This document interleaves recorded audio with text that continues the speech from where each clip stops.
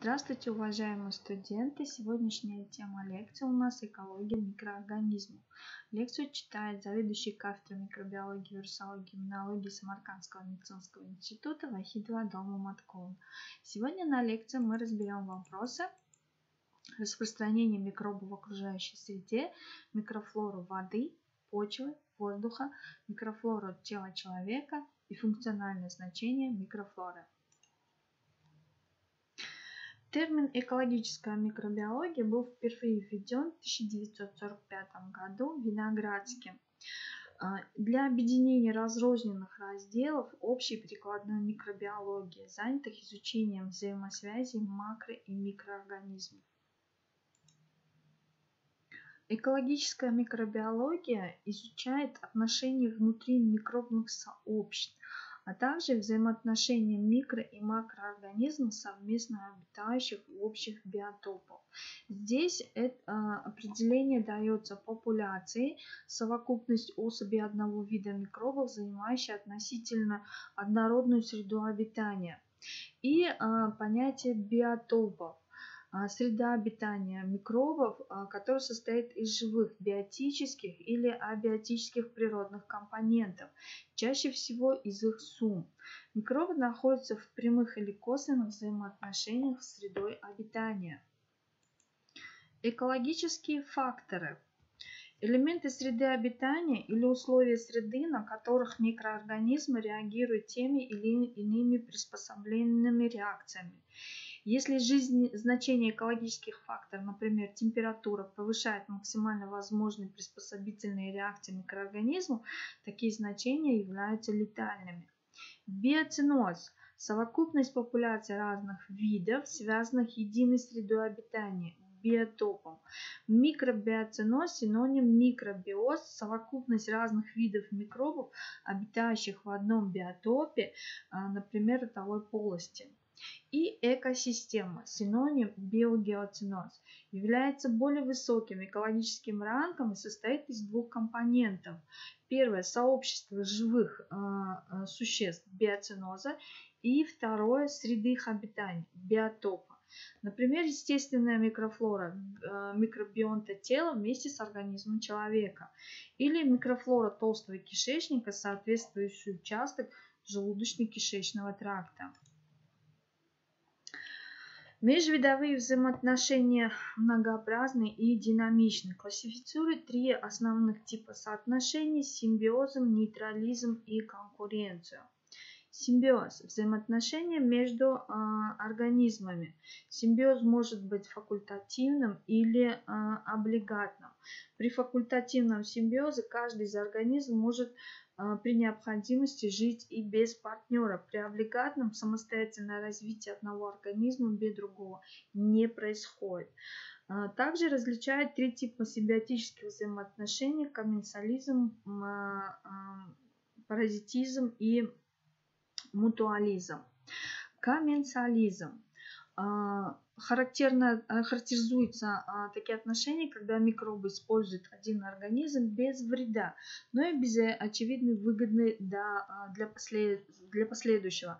Например, такие микроскопические комменсалы человека, бактерии и грибы а, питаются слущенным эпителием или остатками органических веществ в желудочно-кишечном тракте. Паразитизм а, антагонистическое взаимоотношение, такая форма приспособления, когда партнер-паразит использует партнера-хозяина как среду обитания или как источник питания. Как правило, наносит определенный вред а, самому хозяину. А, такие отношения невыгодны для паразита, потому что оно приводит к летальному исходу. А, различают облигатные паразиты, такие как вирусы, рикетция, хламидии, а, а, облигатные паразиты живых клеток и факультативные. Многие бактериальные и грибковые возбудители инфекционных заболеваний являются необязательными паразитами, могут выживать за пределы организма. Следующий вид – это мутуализм. Взаимно выгодные проживания понимает такие взаимоотношения, которые имеют взаимовыгодный характер, в данном случае питают за счет организма, не только причиняют ему вред, но и э, синтезируют необходимые витамины. К ним, например, может привести кровь и пищу, принимающую хозяина и самого микроба, это кишечная микрофлора нашего организма. Есть еще один из видов симбиоза, это нейтрализм. А, не принадлежащий ни к одному, ни к другому, видно форм межвидовых отношений, при котором обитающие в одном биотопе едином цинозе а, популяции не оказывают на друг друга стимулирующего или подавляющего действия. А, это, например, возникает между некоторыми организмами в кишечнике и в пищевом, и топически интересно, иногда редко очень сильно различается. И один из видов еще а, симбиоза это конкуренция. Это а, сталкиваться, конкурес а, переводится с латинского и возникает в тех случаях, когда микробы одного или разных видов вынуждены соревноваться за пищу и территорию биоциноза, а также ресурсы питания при а, недостаточности последних. Конкуренция может быть пассивной, также и активной. А, к таковым а, конкурентным способностям по отношению к микробам относятся антибиотики, бактериоцины и органические жирные кислоты. Далее мы разберем санитарно-показательные микроорганизмы. А, чем они должны отличаться? Во-первых, должны быть облигатными микроорганизмы микрофлоры человека или животных. Так же, как и патогенные бактерии, должны выделяться наружу. Длительное время сохраняться во внешней среде. Не размножаться во внешней среде и легко выделяться на питательных средах. Следующий, один из первых, мы разберем санитарно-гигиеническую оценку воды.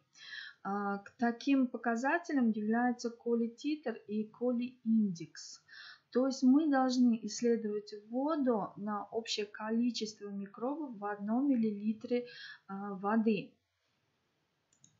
Следующий показатель это а, микрофлора почвы санитарно-генетическая оценка почвы. Здесь мы должны на общее количество микробов 1 грамма почвы определить э, перфрингис титр количества.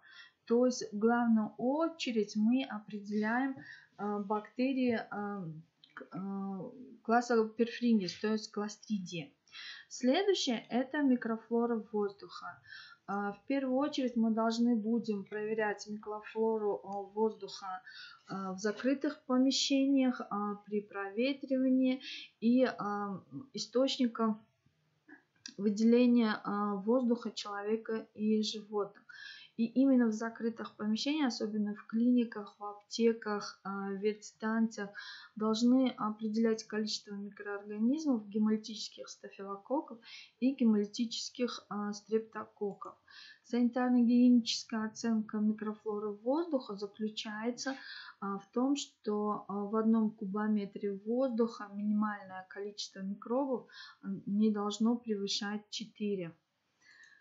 Так, микробы третьего царства живого на планете, они обитают повсюду. А, но э, встречаются места, где микробов практически иногда и не бывает. Например, человеческий плод в матке, он стерильный. Первая встреча в момент родов а, как раз микробы начинают а, обволакивать будущего ребенка и роженицу, поэтому родзалы должны быть максимально стерильными. Затем поступают микробы из внешней среды, после чего одна часть микробов покидает организм, но отдельные виды находятся в благоприятные условия. Они составляют а, нормофлору биотопов. Иногда рождаются дети при помощи кесарево сечения. Они имеют высокий а, риск развития а, дисбактериоза, поэтому а, очень часто предполагают естественное пути рождения детей. А, важнейшие биотопы человека. Дело в том, что а, на организме человека содержится очень большое количество микроорганизмов, и каждый биотоп считается как бы уникальным. Биотоп полости рта содержит в одном миллилитре около 10 миллионов бактерий где-то около 200 видов. Дыхательный тракт содержит до 10,2 степени, 10,4 степени содержит до 5 и 10 видов микробов. Кожные покровы, они содержат до 10-15 видов микробов и на один квадратный а, сантиметр кожи приходится около а, миллиона и а, 10 миллиона а, бактерий. Слизистая оболочка глаза имеет около 100 тысяч бактерий на 1 миллилитр слизи, слизи и где-то около 3-5 видов микробов. Желудочно-кишечный тракт обладает большим количеством микробов, чуть ли не триллиард штук на 1 грамм в миллилитре и содержит около 500 видов а, микробов. Мочеполовой тракт на 1 миллилитре мочи можно обнаружить до 1 миллиарда бактерий и около 30 видов. Норма а, флора а, у нас содержит это внешние покровы кожи, различные полости, сообщающиеся с внешней средой. Микробов нет в крови, в тканях, лимфе, спинномозговой жидкости, матке и центральной нервной системе. Дело в том, что это в нашем организме самые стерильные места. А в настоящее время а, нормофлору делят на облигатную, постоянную, резидентную, а, индигенную, аутохтонию и факультативно случайно, транзиторную. А, аллахтония. Мы а, сейчас как раз разберем микрофлору кожи человека. Кожа является зеркалом здоровья. Кожа имеет постоянный контакт со внешней средой. Однако кожа неблагоприятная среда для микроорганизмов. Нет запаса питательных веществ. Эпидермис постоянно слущивается. Губительное действие секрета потовых желез, а, секрета сальных желез, лизоцим вырабатывается. Все это обеспечивает коже а, способность самоочищаться. При этом не чаще, чем, а, чем чаще, тем лучше.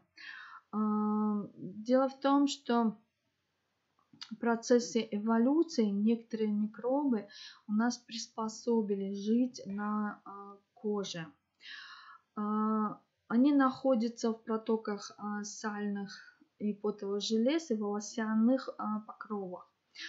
А, в основном это стафилококус эпидермикус составляет 85%, а, сарцини, дифтероиды, грибы, стрептококки и все это вместе они составляют где-то 10-15%. Самые грязные участки кожи это те, которые защищены от высыхания. Это паховая, подмышечная область, межпальцевые промежутки, наружные половые органы, анус, лицо, шея и руки. Если болезнь грязных рук, поэтому здесь лучше личной гигиены. Обработка рук хирурга. А, надо купаться более 15 минут, пока кожа человека здоровится, они не ощущают микробов. Но только стоит получить травму, кожа, а, ожог, экзема развивается, гнойное воспаление вырабатывается и а, микробы начинают размножаться. У кого изучается микрофлора кожи? В основном это работники пищеблоков, магазины, касс, у работников детских учреждений, у медицинских работников. И как они изучают микрофлору а, кожи?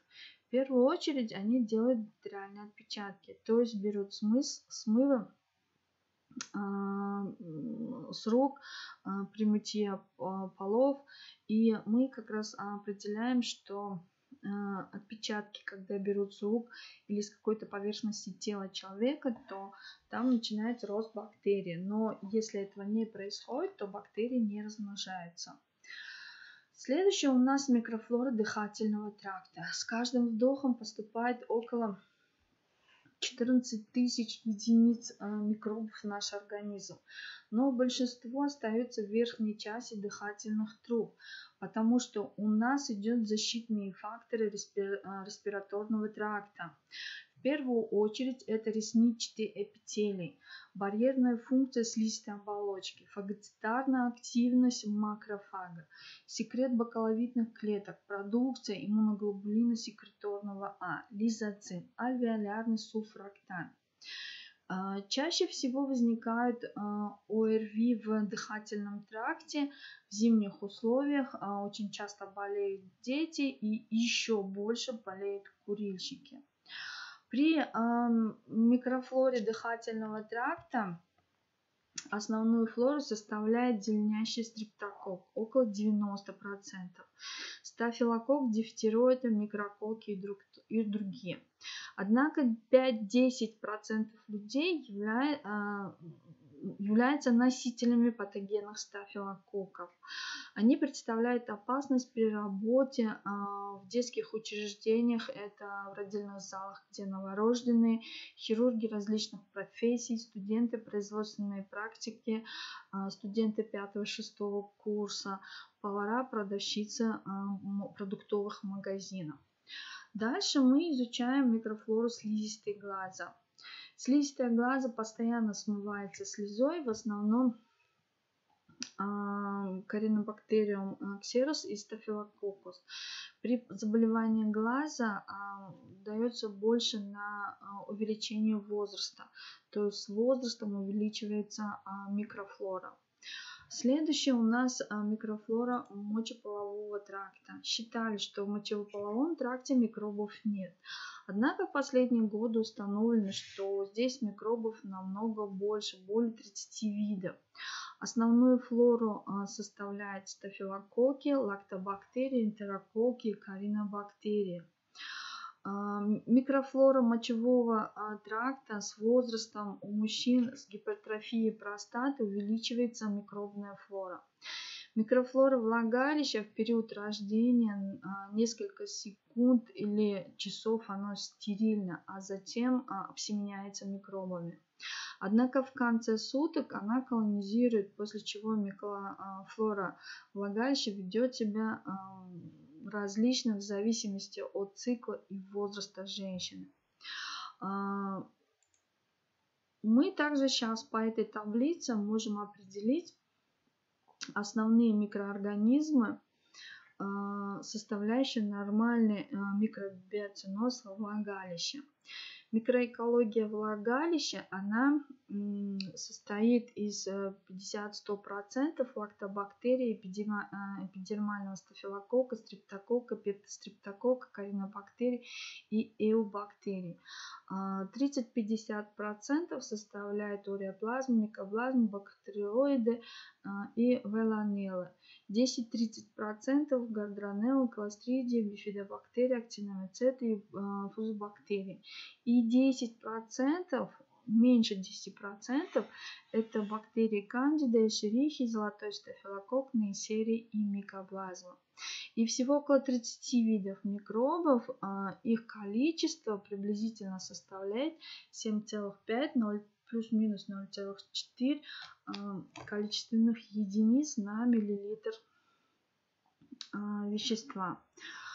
Здесь динамика становления вагинальной микрофлоры у девочек, девушек и женщин. Первое до полового развития в периоды новорожденности а, основные показательные в вагине, они абсолютно стерильные.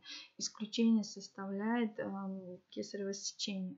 К концу суток впервые образуются аэробы и анаэробы. Через несколько дней, приблизительно где-то 15-28 дней, а, материнские эстрогены вырабатывают гликоген лактобактерии. И похоже или как у взрослых. Через три недели материнские экстрагены метаболизируются и образуется большое количество именно а, лактобактерий анаэробов. Следующее это после полового созревания э, исходит изменение во влагалище, это пубертатный период. А, на весь этот период образуются гликогены лактобактерии, появляются эндогенные экстрагены. То есть у девочек при гормональном созревании происходит а, увеличение количества микробов. В период менструации меньше всего микробов в, это, в этот период они как бы уничтожается собственной кровь, выделяется наружу, но лактофлора здесь абсолютно не меняется.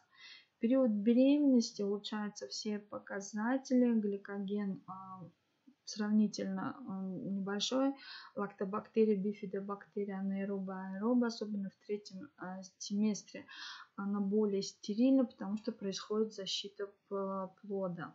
В период родов снижаются гормоны и поэтому увеличивается количество микробов в течение 40 дней, от 40 до 6 недель идет а, восстановление нормы а, флоры. При менопаузе климакс резко уменьшаются экстрагены, а, уменьшается количество гликогенов, лактобифидобактерий, аэробов и анаэробов.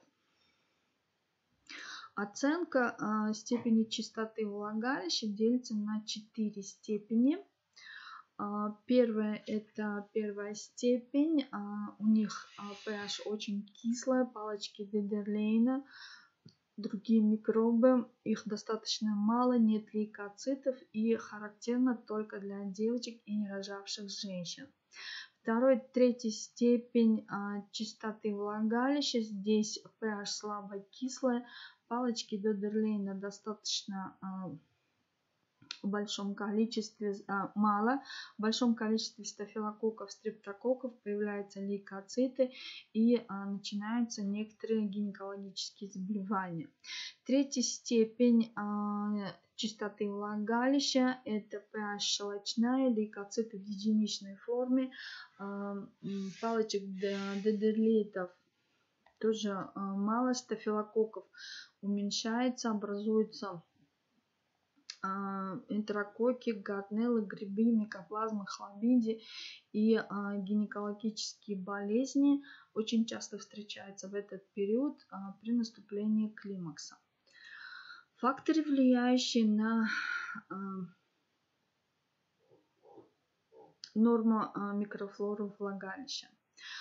Первый самый э, фактор, который влияет, это аборты, менструация, антизачаточные дисбактериозы, контрацептивы последним данным, влагалище может колонизировать, э, быть может колонизировано от 5 до 10 видов лактобактерий, и они отличаются друг от друга тем образованием молочной кислоты, продукции перекиси водорода. У здоровой женщины лактобактерии 90% образуют э, перекись водорода, у больных женщин лактобактерии около 11% образуют перекись водорода.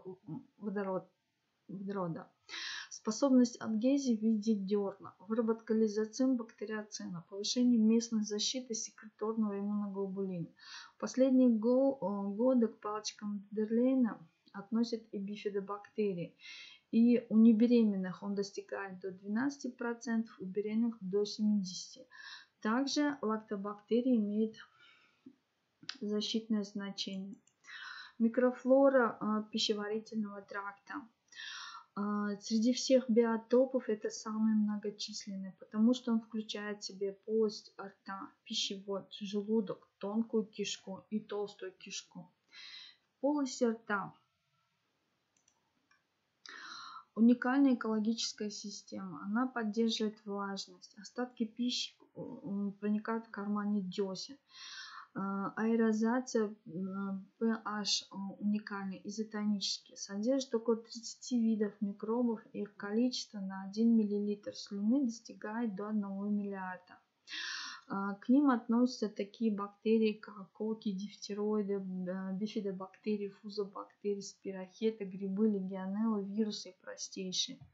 Особое значение а, придает стрептококкус митанс, который вызывает кариес. При длительном нелечении кариес развивает а, гнилостную флору, которая дает интоксикацию, аллергизацию и кандидозный стоматит. Микрофлора а, особенно а, изменяется при протезировании. Пищевод. А, собственной микрофлоры в пищеводе нет, и попавшие микробы быстро смываются слюной, водой а, и другими а, веществами, попадающими в наш организм. Однако при развитии рака дверку микрофлора увеличивается. Следующее это микрофлора желудка.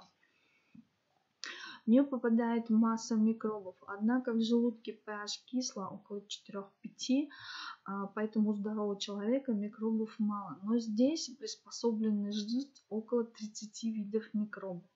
К ним относятся такие грибы, лактобактерии, бифидобактерии, энтерококки, хеликобактерии.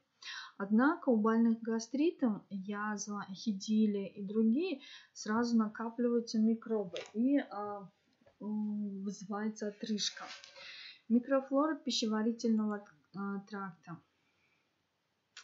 А, самое первое у нас идет тонкая а, кишка. В двенадцатиперстной кишке микроб еще меньше, так как впадает туда желчь. Ну и здесь приспособили жить лактобактерии, грибы, энтерококи. В одном миллилитре кишечника э, достигается около до 10 э, тысяч единиц. Чем дальше от двенадцатиперстной кишки, тем больше микробов. При различной патологии инфекционный колит, резекция, диарея происходит обратная контаминация микробов, так как наступает дисбактериоз. Следующее у нас тонкая кишка, продолжение. А, при этом а, изменение pH нейтральный это ведет к нарушению всасывания а, жиров, микроэлементов, витаминов и воды. То есть нарушение ферментативной функции развивается при диарее. Следующее у нас толстая кишка. Это самый большой биотоп, содержит 500 видов микробов на 1 грамм. А, чаще всего, около 95% а, туда входят бифидобактерии, бактериоиды, лактобактерии, пептострептококи, легионеллы, колостридии, а, катенобактерии. И около 3-5% туда входят эшерихи, стафилококки, стрептококи, грибы, протеи, спирохеты и простейшие. А, для нас сейчас а, самое главное функциональное значение нормофлоры. Мы должны знать, что есть и положительные, и отрицательные стороны. А, положительные стороны – это антагонизм между микробами, пищеварение, морфоструктура, газообмен, колонизация, детоксикация, антимутагенные свойства, водно-солевой обмен, местный иммунитет – и а, витамины. При отрицательном самое первое это дисбактериоз. При инфекционных заболеваниях, при частом использовании антибиотиков, попадании в организм пестицидов, а, частая а, рентгенография, ожоги, изменения эндокринной системы, дерматит, гинекологические заболевания, почечные, психические и соматические. Они очень сильно влияют на нормофлору человека. Одним из а, часто встречающих видов изменения это дисбактериоз. Это изменение количества соотношений состава нормальной микрофлоры организма, а, нарушение экологического баланса между микробными популяциями в составе а, микрофлоры. Причина дисбактериоза нерациональное длительное употребление антибиотиков, угнетение иммунитета, влияние радиации, нарушение питания, хронические заболевания, эндокринные нарушения, стрессы и так далее. Одним из видов дисбактериоза является кандидоз ротовой полости. Здесь как раз кандиды и здесь белый налет в ротовой полости. А, гнотобиология – это раздел экспериментальной биологии, который изучает гнотобионтов, то есть безмикробных животных. А, группы гнотобионтов а, – монобионты, дибионты и полибионты. К монобионтов полностью безмикробные животные. Животные дибионты заражены одним видом бактерий, и полибионты имеют два или большее количество микроорганизмов. Гнатобиология дает возможность изучать роль отдельных видов нормальной микрофлоры в процессе синтеза витаминов или аминокислот, в развитии инфекций, формировании врожденного и приобретенного иммунитета. Разработка методов безмикробного лечения ран в условиях пневмобиотической изоляции. Это нам дает возможность изучить организм и каждый отдельный микроб. А, здесь как раз показано изучение а, гнотобионтов у животных, то есть на данном случае здесь изображена курица, которая растет абсолютно в стерильных условиях, включая, что ее организм тоже лишили всех микробов. А сегодняшнюю лекцию, спасибо, что вы ее послушали. А, самые основные части по показателям а, почвы, воды, воздуха мы пройдем на практических занятиях. Сами произведем все виды изучения показателей окружающей среды. Спасибо за внимание и будьте здоровы!